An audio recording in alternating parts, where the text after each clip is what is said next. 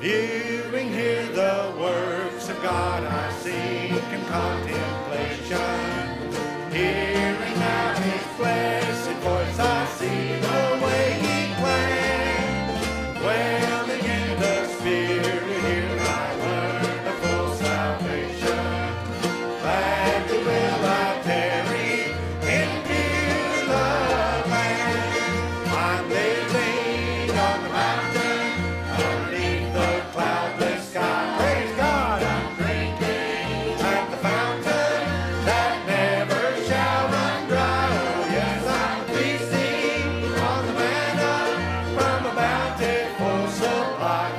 I am